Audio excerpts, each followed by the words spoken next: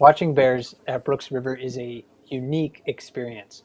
We watch bears closely throughout the summer, not only recognizing them by their physical characteristics, but also by their behaviors. And across seasons and years, we get to see how they grow and mature, how they change their ways of making a living when necessary, and how they expose their cubs to lessons they can utilize later in life. On a larger scale, we're witness to a unique concentration of bears at a waterfall they have developed a salmon centered culture and have found success through their ability to adapt and transmit information from one generation to the next. Hi, everyone. I'm Mike Fitz, your resident naturalist with explore.org, the world's largest live nature cam network. And welcome to this live chat brought to you by explore.org, Katmai National Park, and the Katmai Conservancy. Individual and cultural differences help brown bears utilize their intelligence, their individuality, and adaptability to survive not only within Katmai, but across a wide swath of the earth. And to help us learn more about this, I'm joined by my co-host today, Park Ranger Kim Grossman from Katmai National Park. Kim, looks like you have another great day to be outside talking about brown bears. Absolutely. It's a beautiful day outside, and we have some bears that are joining us for this chat out in the background. So hopefully, you'll see some of them swimming around. Yeah, so Kim is standing on a wildlife viewing platform at the mouth of Brooks River. I am at my home studio, really just sitting in front of my TV, if you want to call it that. But uh, we have, of course, a lot to, of ground to cover today about bear personalities and bear culture. If you have questions about that topic as we head along, drop those in the chat, and we'll do our best to try to answer at least a few of those during the during the main part of the program, and especially we'll try to get to a few after um, or, or towards the end of our conversation today. Kim, perhaps because many Western philosophers and institutions once denied agency and sentience to animals, Western science was really slow to acknowledge the role of culture and personality in non human creatures. Thankfully, that tide is turning. Uh, but can you begin uh, by maybe helping us understanding culture a little bit more. How do you define culture and, and personality, and how is that applicable to bears? Sure. Yeah. So let's go ahead. Let's go ahead and define culture first. Um, culture is everything that is learned from others and then is repeatedly transmitted to the following generations. So think of it as a sort of mix between tradition and perhaps the conventions of one specific society. So if one were to move locations, for example, and then join a different community, uh, their culture would likely also shift, or rather, it would meld into a new environment. So, personality, on the other hand, is a little bit more individualistic and subsistent throughout one's life, though it too is not without outside influence.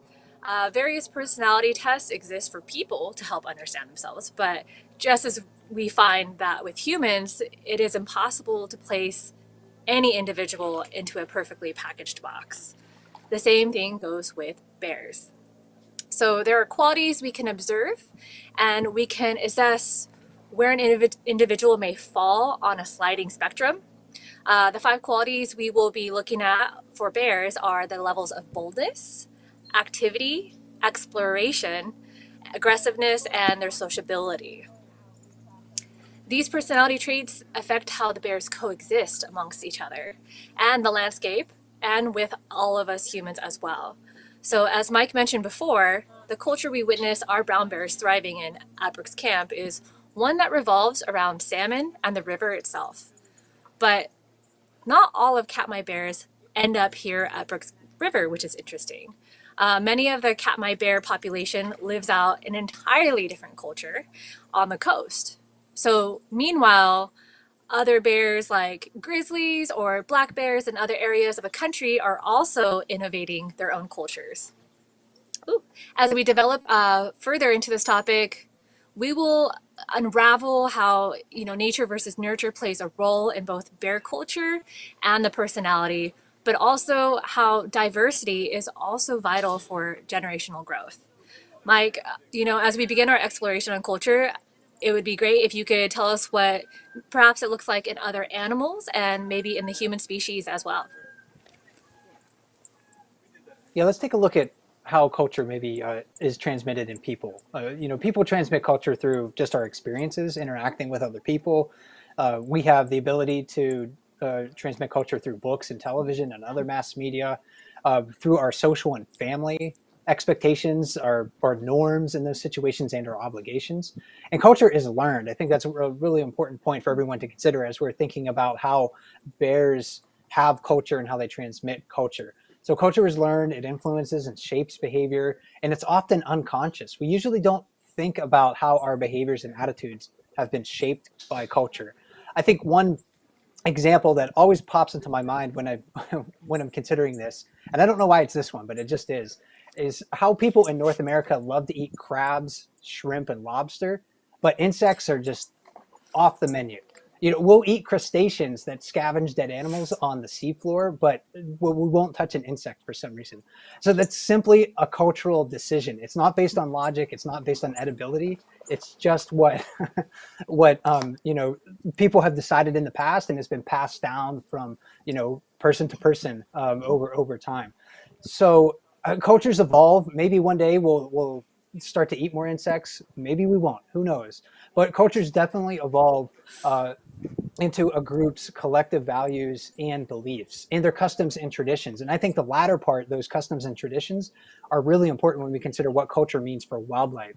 We don't know what their beliefs are, but we can observe their customs for making a living. Orcas, you know, oh, you sometimes will hear them also called killer whales. They're a well-known and relatively well-studied example of this. Different groups of orcas utilize different dialects. They target, target different foods. They use different habitats. Along the coast of Washington state and British Columbia, there are different ecotypes that exist next to each other, but really never interact. Their cultural traditions are so strong that they're separate. Uh, two different groups, for example, the resident orcas and the transient orcas, respectively, occupy much of the same area in Puget Sound and farther north into, into uh, Queen Charlotte Sound, I think it is, in, in Johnstone Strait in British Columbia. The, the transient orcas prey on marine mammals, while the resident orcas prey on fish, especially salmon. And despite living in the same areas and having the same access to the same foods, these groups of orcas don't, they don't interact, they don't use the same language, they don't interbreed, they don't fight, they don't hunt the same foods. These differences exist because socially the whales live in matrilineal groups that consist of closely bonded mothers uh, and, uh, and her offspring.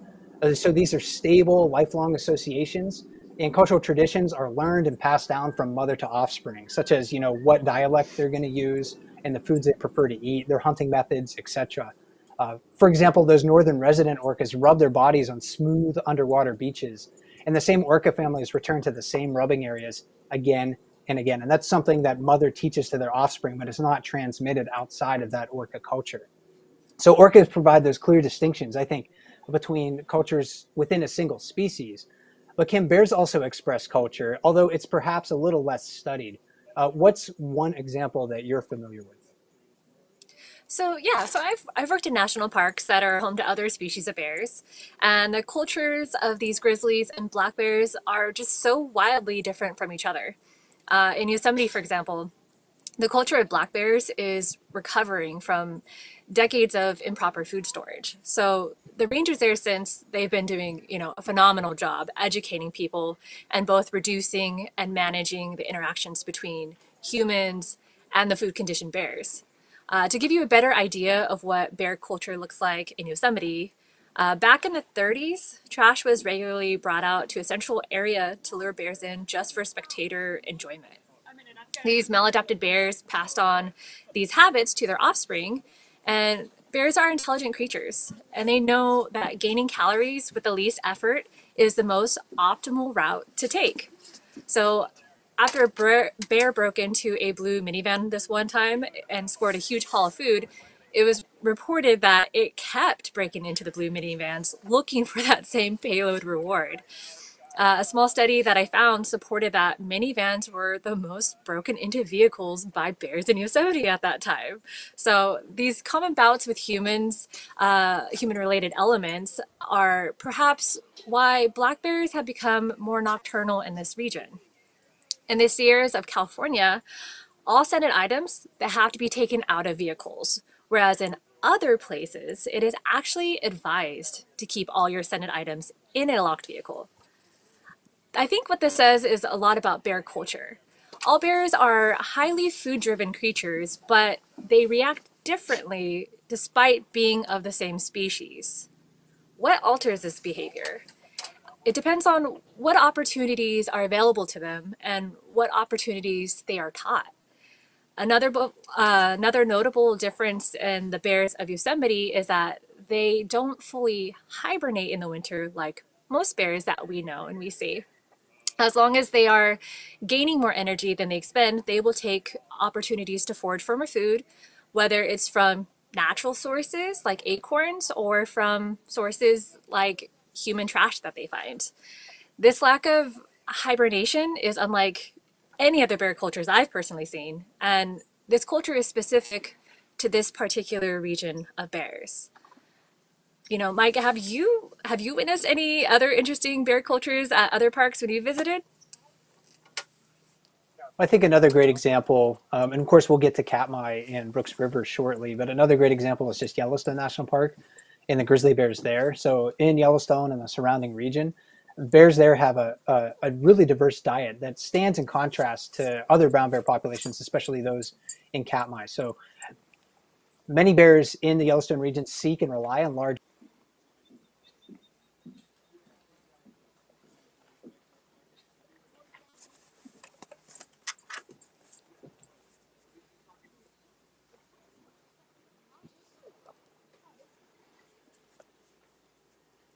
And a unique subset of bears has learned to feed on moths high in the mountains. And this is particularly interesting too, because certain grizzly bears move to talus slopes far above treeline in midsummer to feed on cutworm moths. Only a small portion of the grizzly bear population in these areas use cutworm moths, even though they are a rich and really nutritious food resource. I mean, they probably have about a fat content that's maybe even higher than salmon.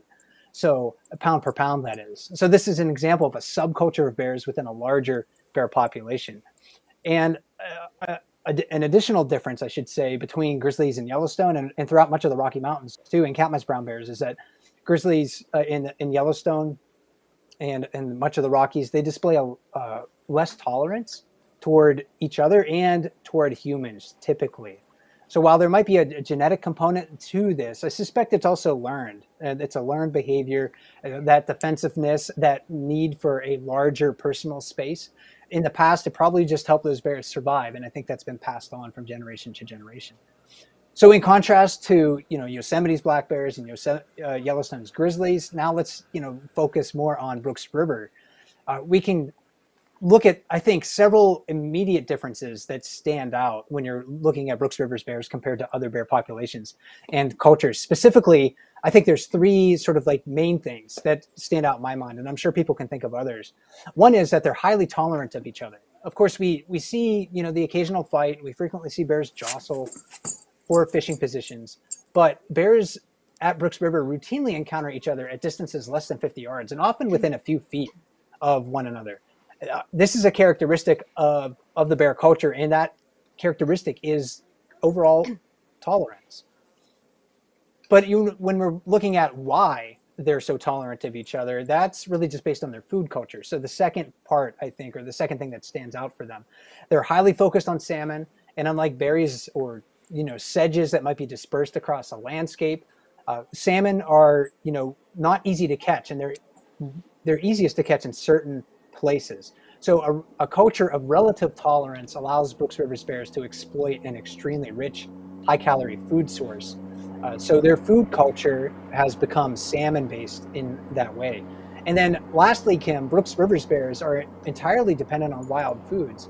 They don't even know that people have food at Brooks Camp, which in itself is wild since trash is burned at Brooks Camp inside of a building that smells like trash. Smells strongly like trash when you're walking by it. And uh,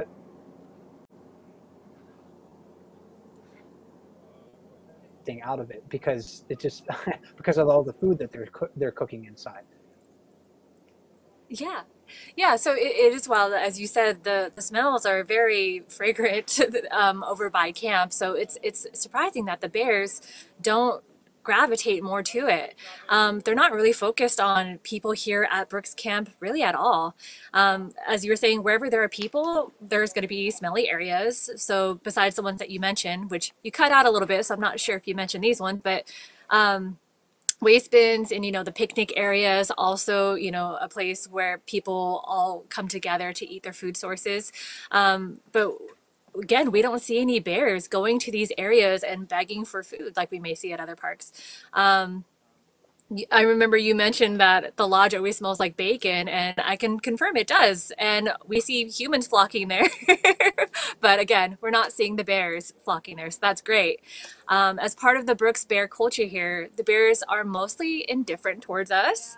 They recognize who we are, they tolerate us in their home, but they are just like laser focused on the abundant salmon resources because that's what they have always known to be a reliable source of calories for their survival, for their ability to hibernate.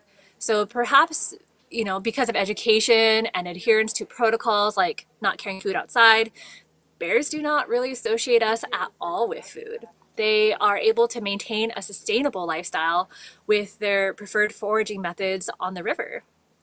And so, you know, with that in mind, what would happen if a bear was taken out of its society and culture and then placed into another where it doesn't know how to find food? For example, what I'm thinking is if we took a Yellowstone bear and then we just dropped it into Katmai or vice versa, what do you think would happen?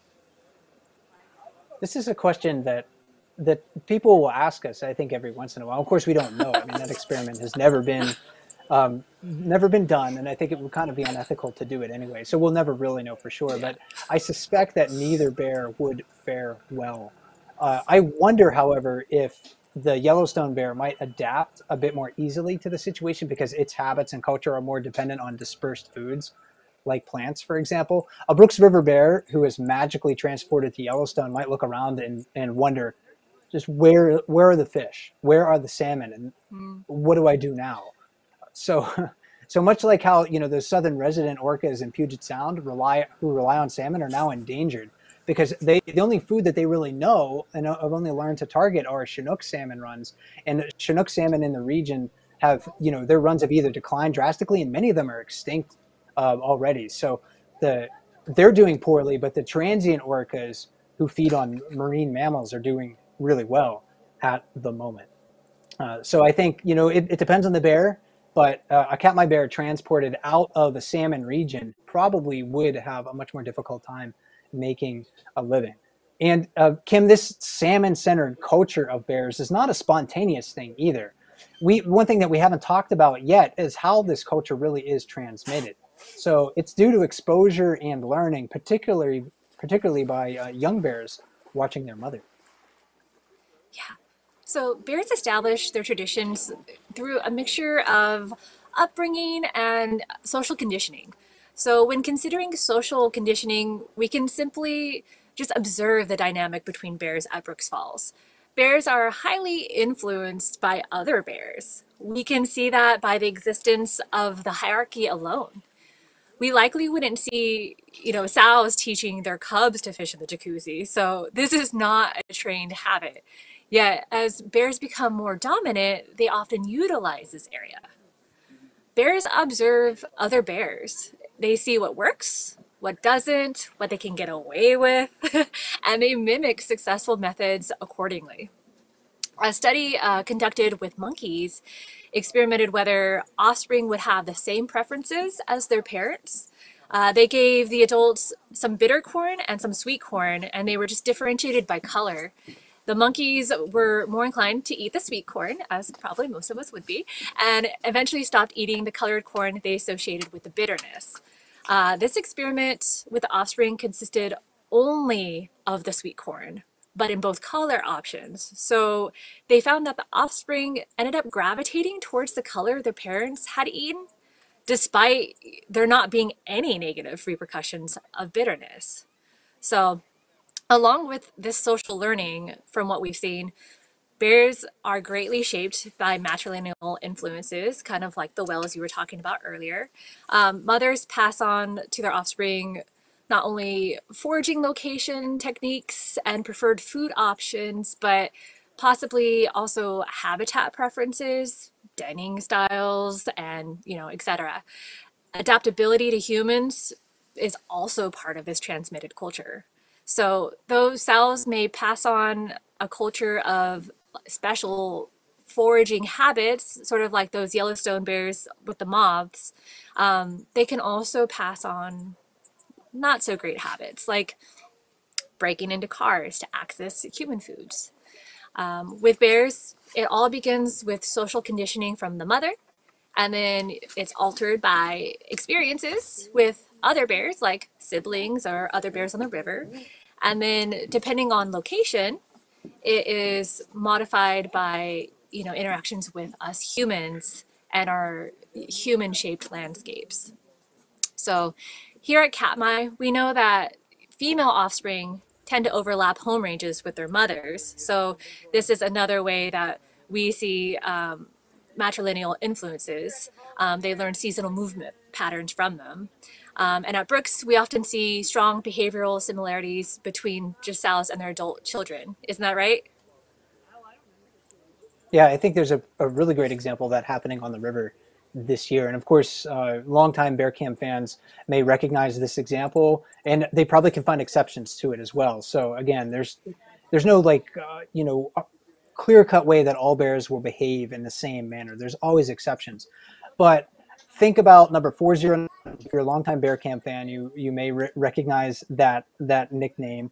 Uh, Bead Nose who is shown here was a very uh, recognizable bear on Brooks River for many years. She brought her cubs to the river. She brought her yearlings to Brooks Falls, and she uh, she was a prolific angler on the lip of the falls. So this year, we have seen uh, both of her daughters, uh, who are grown now with their own cubs, coming back to Brooks Falls and fishing at the waterfall, and even number nine, ten this year, bringing her uh, her spring cub onto the lip of the falls and fishing there. And nine nine zero nine has done that uh, in the past. She did that last year, maybe not as much this year with her yearling, but sure, she has certainly done that. So I think that's a clear example of sort of uh, cultural transmission between one generation to the next. And hopefully, number 910 and 909 will raise, you know, the healthy, uh, you know, lively offspring that will grow up and maybe have their own, uh, you know, cubs here on the river. And we can see how,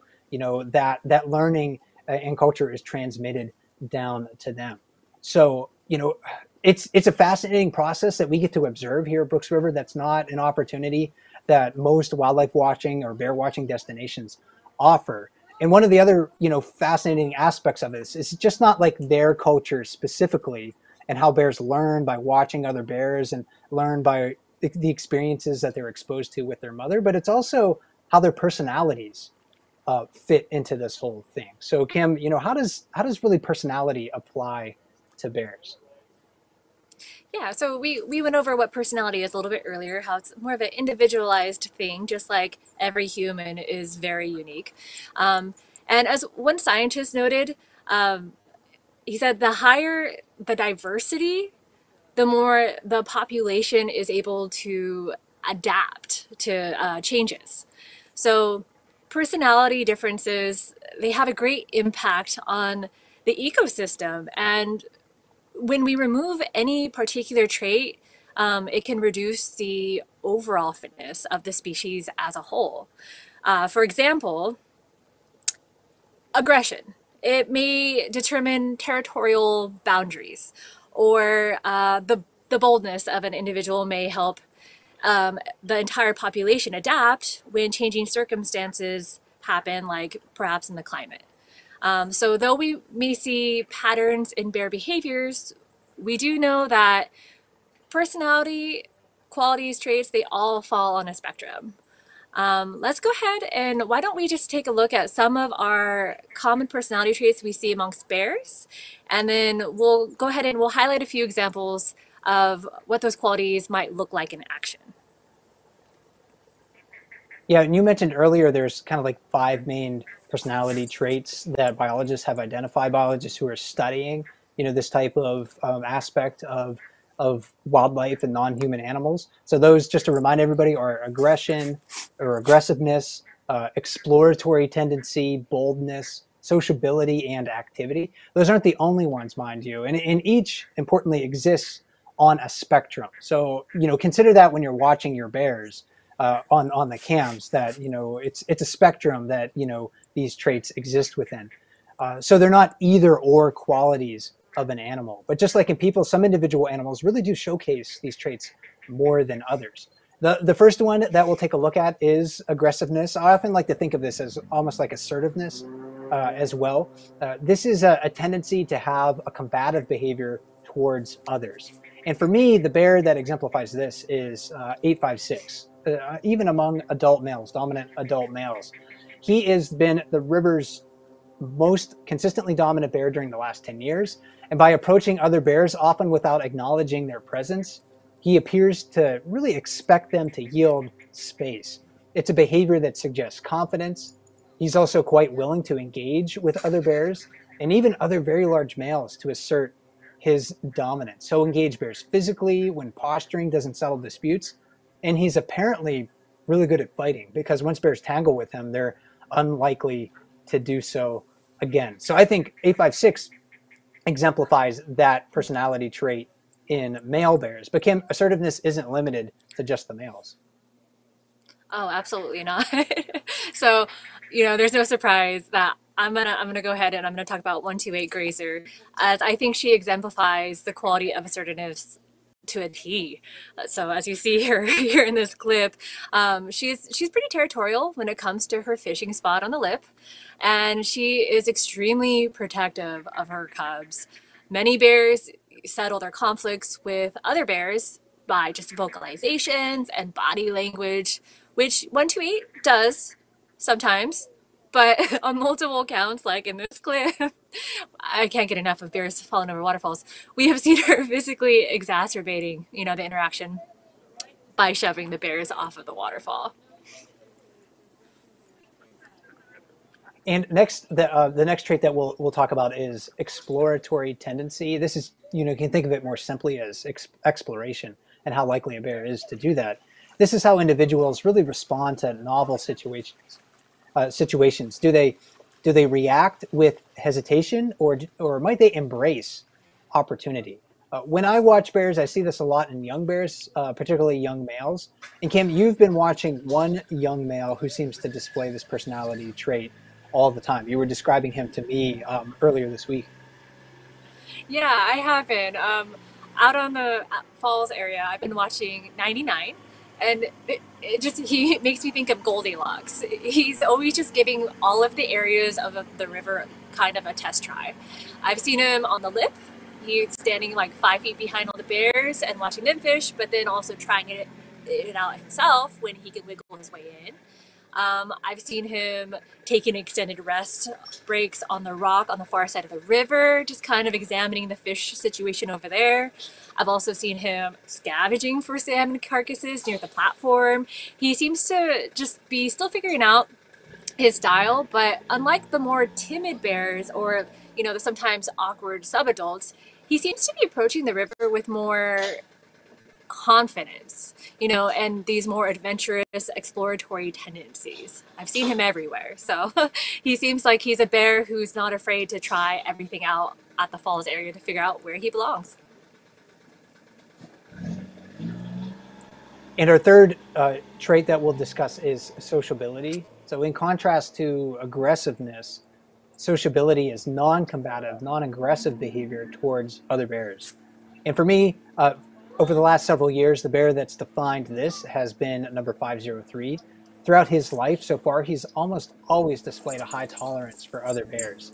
He's not often, and, and I should say too that he's he's often sought the company of other bears. So it's not only that he's tolerant, but he also shows a willingness to seek out social interactions. 503 frequently uh, solicited play fights when he was a subadult bear, uh, and so he, and he's the one on the right in this clip here. Uh, and interestingly, he was he seemed to have the ability to mollify some of the aggressive tendencies of other bears. We've even seen him approach large, dominant adult males. And while this didn't always happen, uh, they sometimes reacted uh, to him in a, in a relaxed manner. Like they kind of understood, hey, this guy's cool. He's just going to come and hang out, and um, he's not willing to give me a hard time, at least not yet. Uh, but however, you know, 503 sociability might change over time. I, I uh, you know, for example, just to use a, a, you know a personal example, I sought out much more social interactions when I was younger. Now the mere thought of going to a party where I, I know just like a couple of people is like ridiculously stressful, and I wouldn't do it. I would just say no, thank you. So for 503, we've seen you know with many adult bears, their playfulness and tolerant nature might wane as they mature into a full-grown adult. 503 is almost nine years old, so he's not full-grown yet. His whole life so far has been available uh, for us to witness on the bear cams. And I think with him, we have a remarkable opportunity to carefully observe how an individual bear uh, can change their social nature over the course of their life.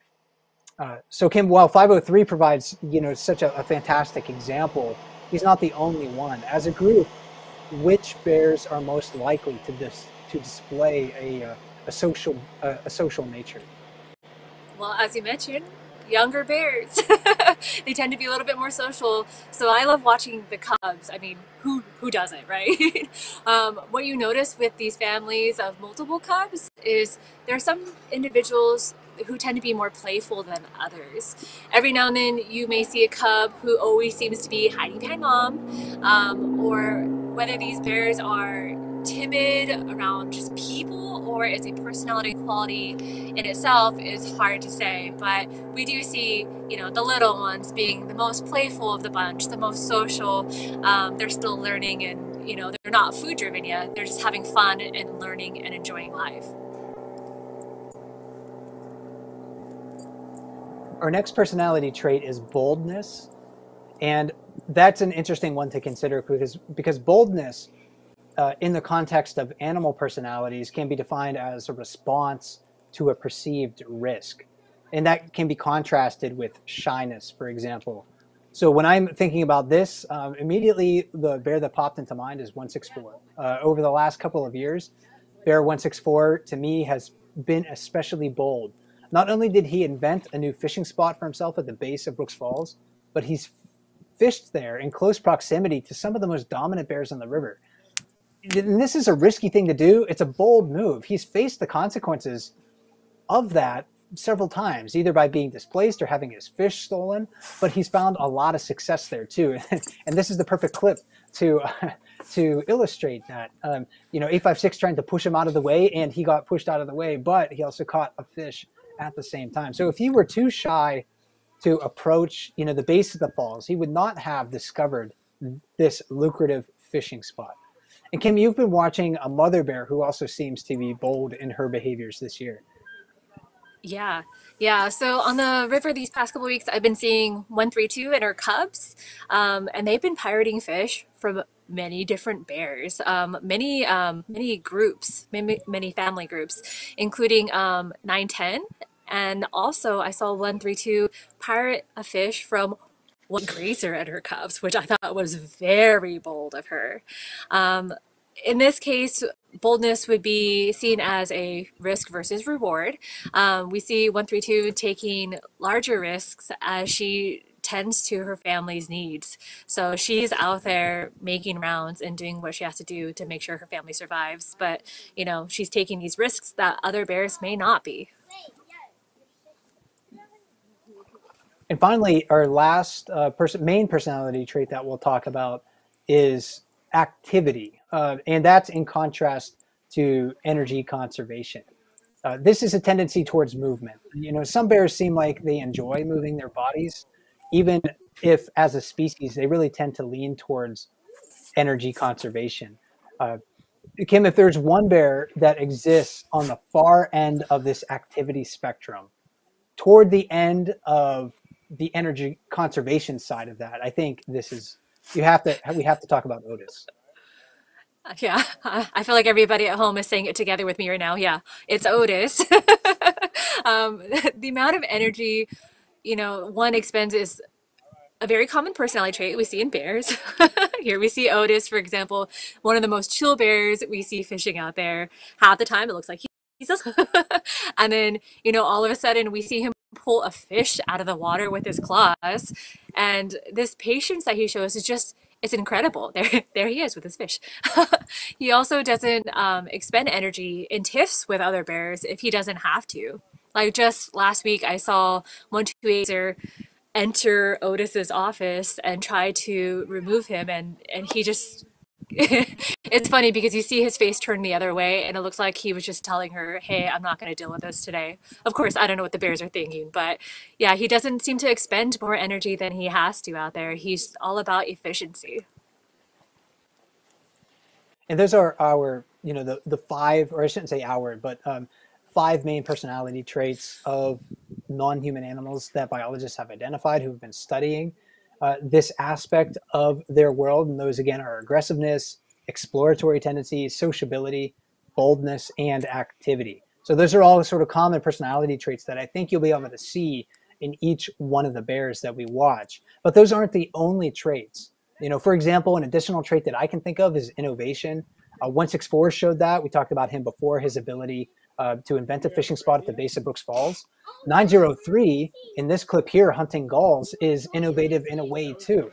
He's like the one bear in recent memory, at least, that has learned and discovered the ability to hunt gulls. He started doing this in 2020, and he's continued this behavior off and on since then. In fact, Ranger saw him catch a gull downstream of Brooks Falls within the last couple of weeks or so. Uh, although, and I don't know this for sure, Kim, but I think he probably discovered this behavior on his own.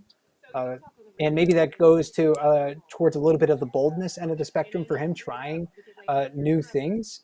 Uh, many people have speculated that one to eight grazer is his mother, uh, and grazer's not known to be a gull hunter. So I think this is certainly a, uh, a personality trait that he discovered maybe on his own, but it could have something to do with maybe his prior experiences with mother. That's something that we don't really know. It'd be really hard to measure scientifically. Uh, but I encourage you know everyone at home to watch for these personality traits and maybe others as well, and take note how the bears express them. All of this really leads one to wonder, Kim, are these traits inherited, inherited, or are they learned?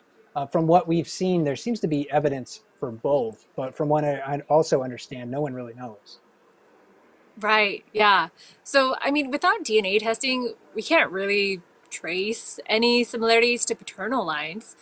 But, you know, when we go out there to the river and we watch the bears, we do see them mirroring behaviors of their mothers and, you know, the societies that they live in as well. So, like humans, I imagine it is more of a learned quality, kind of through trial and error. Um, they adapt to just different stimuli that they experience over their lifetime, and experiences like positive ones like food acquisitions or negative outcomes such as interactions with more dominant bears. These all give them opportunity to alter their approach going further. So do bears inherit their personalities like the saying, you know, the fruit doesn't fall far from the tree. Like, are we going to see one to Grazer's offspring possess her same assertiveness on the river? Are we going to see Holly's recently emancipated offspring show a similarly relaxed demeanor like Holly does, like Holly shows? Though genetics play a part in personality, it's hard to ascertain exactly how it will reveal itself in individual bears. Um, as you mentioned, you know, if 120 is um, 903 uh, Goaly's mom, you know, they have very different foraging habits.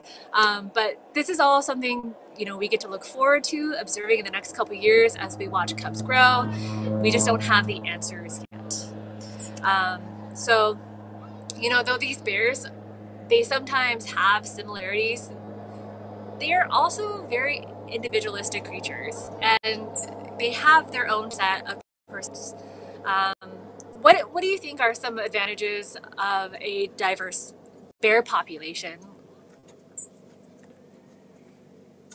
Well, at Brooks Falls, I think one of the main examples is that many bears can just fit into a small area. Um, you know, as a learned culture that focuses on salmon, I mean, that enhances their survival Uh, but it's the personalities of these individual bears and their individualistic nature that really allows them to thrive in this location. No two bears behave in the exact same way. No two bears completely overlap in their fishing strategies or locations.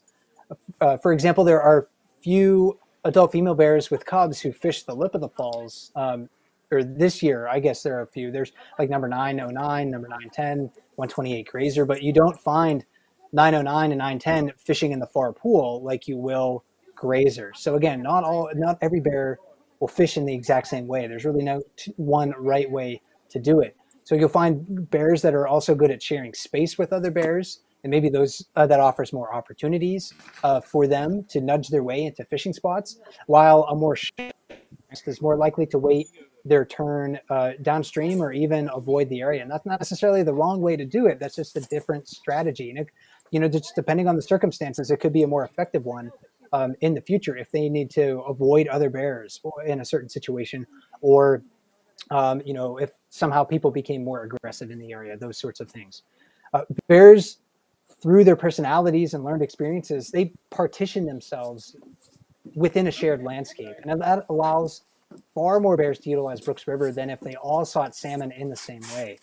On a larger scale, Kim, we see this partitioning happening across Katmai's entire landscape. Yeah. So, you know, many bears can fill many niches on the landscape. We see bears on the coast with a fuller diet of berries and vegetation. And these bears, they're really quite healthy looking as well, even without the salmon in their diet. This is great um, because it means there's enough ingenuity and resources to go around for all of the animals. Because, well, imagine for a second if they were all vying for a limited resource, the pop would dwindle dramatically. We also see coastal bears taking advantage of other resources like hunting otters and seals, and they also forage for clams. Um, as you mentioned earlier, Mike, um, 903 goalie, he, innovation is key with, with these bears. Um, the greater the fitness of bears, the more resilient they become. If push comes to shove and all of these resources here disappeared for whatever reason, whether from climate change or something else, we would likely see bears like 903 being the survivors because of this more exploratory personality trait that he possesses. So but outside of these natural threats to the diversity of bears, you know, they also face some human related conflicts as well. It's important for us to know what role we also play in the survival of these wild creatures. Mike, do you do you want to take the lead on this one? Yeah, absolutely. There's a, because there's a, there was a really interesting study that came out of um, uh, or it was based on a population of bears in southwest Alberta. It was published in 2016. And that study paired trends in bear and human conflicts in that region with DNA analysis to confirm parentage of the bears.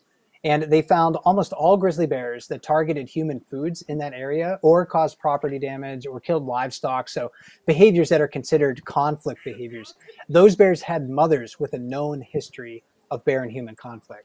So offspring of mothers with so-called conflict behaviors, they were much, much more likely to be involved in conflict behaviors themselves as independent bears.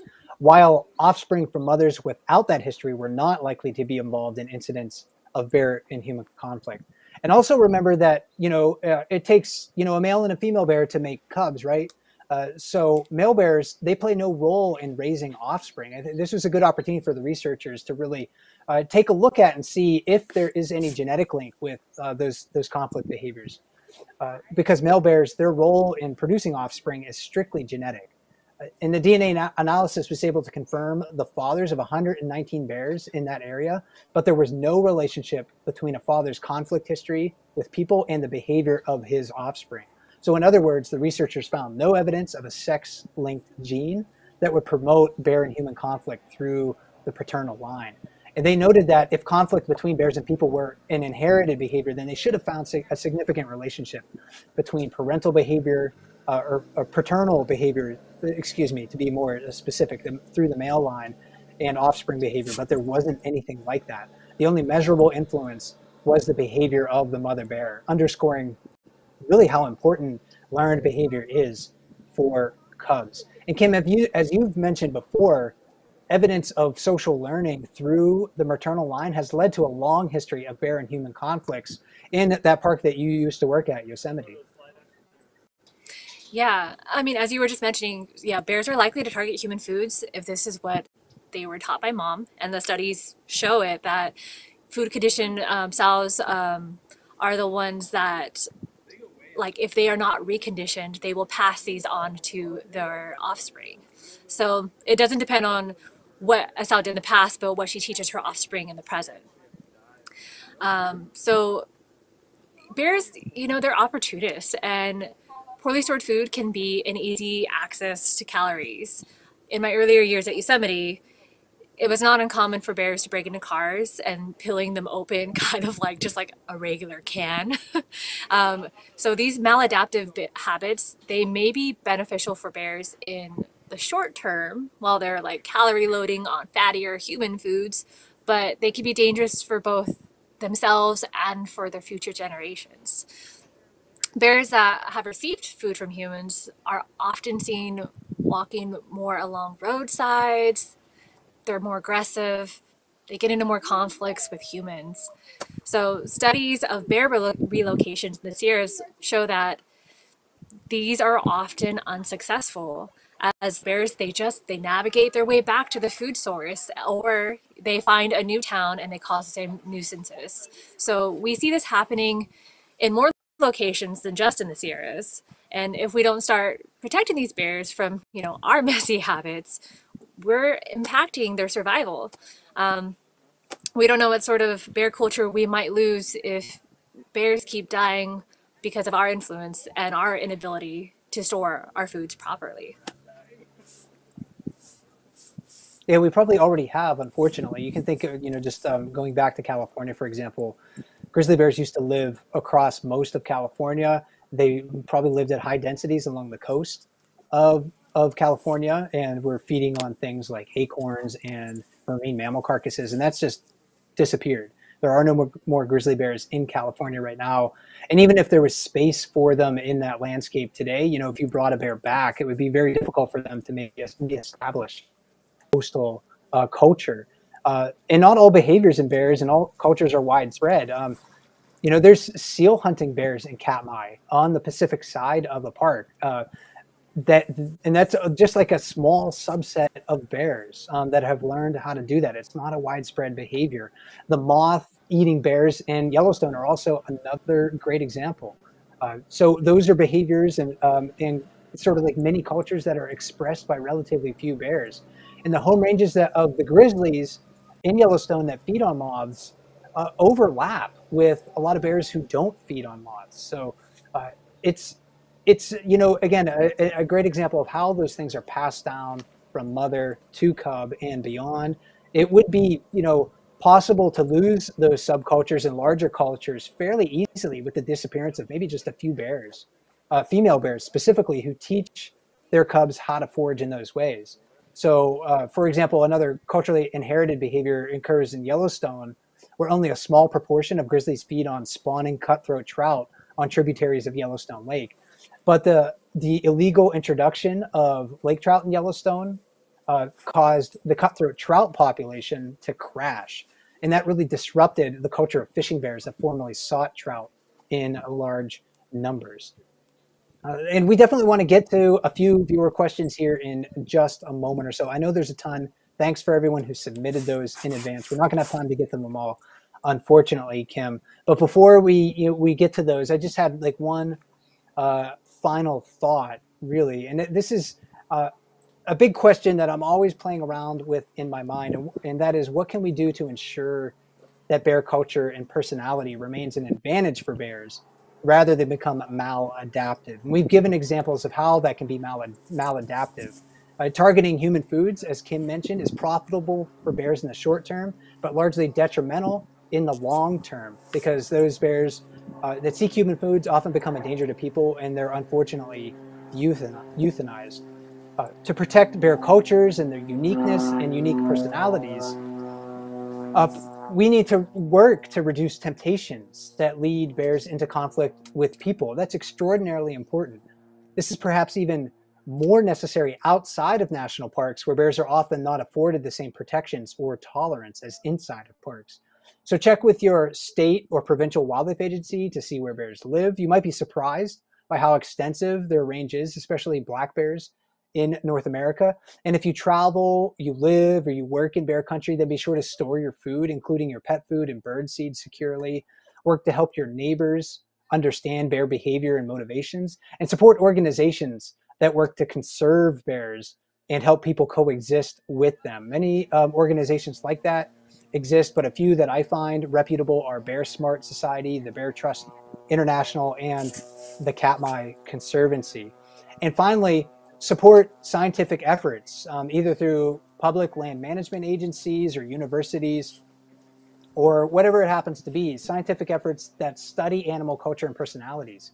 Because it's really becoming increasingly clear that individual animals have large influence on the survival of populations. This, this was a field of study that was long ignored or stigmatized.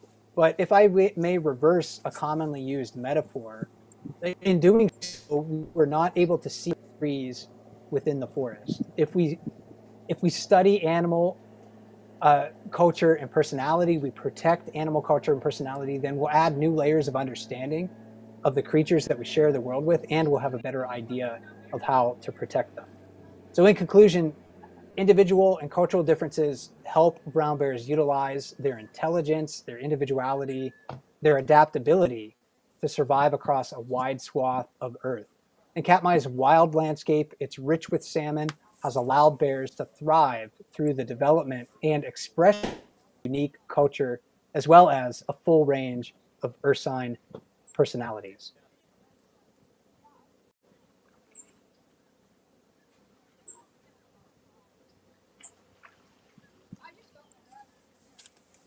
Grab uh, a few audience questions. I may have cut out there, but um, yeah, let's. Uh, if we have time and you're willing to stick around, let's try to get to a few of those questions. Yeah, let's check them out. All right. Yeah, so thanks everyone who submitted questions. Um, we're not going to be able to get to them all, so I apologize for that.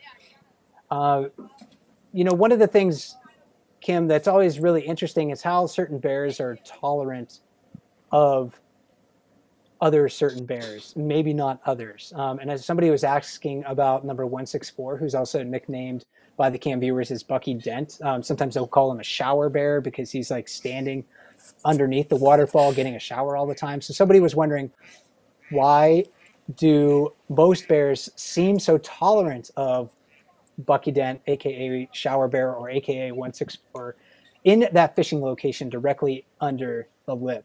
I think they might recognize that he's not, uh, you know, a big threat to their fishing position or their level of dominance. Uh, but what do you what do you think about that? You know, it's funny because I I've been asking myself that question as well while watching him down there in that area because he's he is pretty much sandwiched by you know some very skilled fishers on either side of him, both in the jacuzzi and both on the lip. But I mean, he doesn't seem to have a very um, aggressive nature to him. He, he seems to just sit there and kind of mind his own business. So as we're talking about, you know, personality earlier on the spectrum, um, he, he may be bold, but he doesn't seem extremely aggressive. So as you were saying, you know, the other bears may not see him as a threat. He just doesn't have that disposition about him. So they just kind of let him be. And I think that might be the case for Otis too. Um, Otis is he's not a small bear at all, mm-hmm. but it seems like a lot of bears will cut him a little bit of a break. I think they're recognizing that you know he is a large bear, but he's unlikely to maybe try to displace them from uh, a fishing spot, for example. So they kind of like, oh yeah, that's that that old dude. He's he's cool. We'll just let him be for the moment. I mean, of course, there's always exceptions to this, but um, you know, I think that what we've talked about with 164 also applies to other bears like like Otis. Uh, one question that we got, you know, in advance, and it was it's uh, applicable to this chat, was wondering about um, personalities and how they're influenced by their mothers. We talked a little bit about this during the main portion of our broadcast, but maybe we can speculate just a little bit about some specific bears that this person is um, asking about. Um, are somebody was wondering, are the personalities of bears influenced by their mothers, for example? Or do Grazer's now adult offspring behave in similar ways to her? Uh, or is 503 mellow because he was partially raised by Holly? Uh, real quick, Kim, do you want to recap maybe how, what we know and what we don't know about how personality is influenced, um, you know, by a mother bear, and then maybe I can speculate on those specific bears. Yeah. So, I mean, personality is influenced by watching, you know, mothers. I think it's mostly all learned. It could be possibly genetic. Um, we, we don't really have any evidence to show how it might be um, passed down genetically from a mother to her offspring. Um, so just again, being part of like a culture is also going to influence their actions as well. So seeing what the other bears are doing in the river around them, um, they might take on some uh, behaviors from them as well. Um, but yeah, they do look to their moms to teach them I would say some basic principles of how to act, and they like uh, mimic her, you know, fishing styles as well. Yeah, it's. I think this is going to be one of those one of those things that maybe we can tease out over, you know, years and years of watching bears on the bear cams. Because formerly, you know, this experience was just limited to like biologists and rangers who stayed at Brooks River all summer. But we have this hive mind now of millions of people around the world watching the bears. So I think we can be we can gain some really interesting insights on the behaviors of these animals. It's possible that I, I you know, a, a cub might see mom like Grazer beating up on other bears and be like, you know what, that strategy works. I think I'm going to try that in the future. We don't know that for sure, uh, but you know that's that's a possibility. Um, Holly was, you know, she's generally a pretty mellow bear, um, and you know she was very tolerant um, in adopting 503 maybe that's led a little bit to his um, you know more social side that we've seen expressed recently i'm not really sure because 503's biological mother number 402 she's not one of those mother bears that you would call like playful or tolerant of other bears um, so yeah it's it's a mixed bag and i don't think we're really going to know um, for sure uh, we have uh, what actually since there are so many questions, we'll try to stick around just a couple of extra minutes to answer a few extra ones. So again, thanks for everyone who has submitted um, questions so far. One of the more recently submitted questions, though, was about Otis, of course. Um, we can not, probably not talk too much about Otis since he is such a, a favorite bear. Um, but somebody was wondering, has Otis always had his present personality? He seems to be uh, of an optimal intelligence in a hostile environment. And and Otis, um, actually, uh, Kim, you might remember when uh, I was talking with Ranger Roy Wood um, during our 10th anniversary live chat event last um, on, around the 25th of July, and that was over a week ago now. But um, Roy and I were talking about how Otis has always seemed old to us, even when he was like in his his mid-teens. He always seemed like just like a really old bear.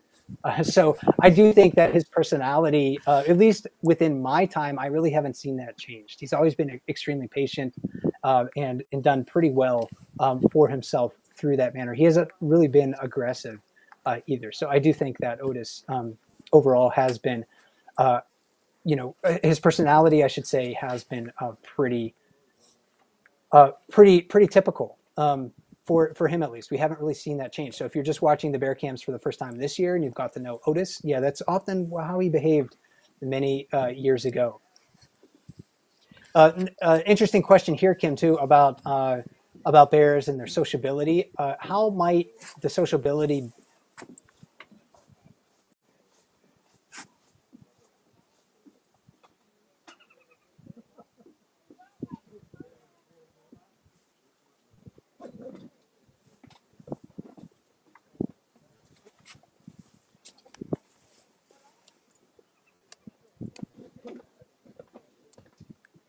Oh, sorry, Kim. Did my did my uh, my audio drop there for just a little bit? Hey, yeah, yeah. Well, okay. I'm I'm sorry. All right, so let's uh, let's move on to you know we'll we'll try to get to one or two more questions here. Um, somebody was wondering how might sociability benefit an individual bear or the ecosystem. So you know from what you've been observing on the river this year, what what advantage does being social really bring some of those younger bears? Well, um, I mean, you know, again, these bears they're they're all congregating in this in this small area for the food source, and being a more sociable bear could benefit them by, you know, like perhaps not appearing as much of as a threat to other bears and like not being as scared not being afraid of getting closer to bears. Um, it might allow them to receive scraps from a bear. Um, you know, just again, I think it's about that proximity that they are able to gain um, to other bears and other resources because of their sociability. Um, as we were talking about some other bears, um, like uh, like Bucky Dent, who you know is is in the shower and maybe is not considered a threat. Perhaps also a social bear is also not considered a threat. And as far as like the ecosystem goes, I think the social nature of bears can certainly um, help with that, uh, or or expand or benefit ecosystem processes in a place where you have a really rich food resource like salmon, and you have, you know, short growing seasons and you know uh, waters that aren't really rich in nutrients. Bears are vectors that disperse salmon nutrients throughout the ecosystem. So they do that by dragging carcasses up onto the land. They do that by urinating on the land after they've eaten salmon. They do that by pooping across the landscape. And so they're spreading basically fertilizer all over the place. And uh, you know, if, if more bears are feeding on salmon, then that allows more salmon nutrients to be dispersed into terrestrial and freshwater environments. So I definitely think there could be like a, a benefit to the ecosystem from the social nature of bears. Uh, and last question that we'll get here today. Again, thanks to everyone who has submitted questions. We apologize for not having the time to answer them all, but this is also this is also a really fascinating question to consider, and I do think it has it's very applicable to bear culture. Uh, somebody was asking, is there any way of knowing how long bears have been coming to eat the salmon at Katmai? Uh, I assume for decades, maybe much much longer. So there's kind of like two parts to this answer. Um, the first part is, you know, when bears first inhabited this area, when did that happen? Were salmon around at the time? Probably yes. So I suspect that bears were fishing for salmon um, as soon as salmon were available in this area and bears were inhabiting this area. So at the end of the last ice age, where Kim is standing right now, um, if you were to be there, you know, 20,000 years ago, it would have been covered by ice, you know, several, you know, uh, maybe a couple thousand feet of ice or something like that. So it wouldn't wouldn't have been inhabitable inhabitable to to bears then. But other places in like the the what is currently the Bering Sea, that's Beringia, that would have been perhaps occupied by salmon, and bears could have been uh, you know fishing for salmon there. And then also, Kim, there's this interesting uh, aspect of how there weren't many bears utilizing the Brooks River area when Katmai National Monument was sort of expanded to include Brooks River in 1931. And then after Brooks Lodge was established within the National Monument in the 1950s, there were reports of hardly any bears in the area. So we've seen bears over time learn and establish like this this salmon centered culture specifically at Brooks Falls even though they were doing it throughout the park but it wasn't something that people 60 years ago could go to to Brooks River and expect to see. Yeah, as you were saying, the, the, bears didn't always gravitate towards this area for their food resource. We've seen the numbers, you know, increase quite a lot over the last couple of decades. Um, and, you know, as the salmon run is doing very well, we, we see a lot of bears come here. Um, oh, and I see a bear right now too. so um, yeah, it, it, it's it's really been quite a shift here at Brooks River. Um, you know, as the landscape changes, so do the benefits and resources for other animals. And I'm sure as more of these bears come to this area, it also changes the ecosystem itself as well.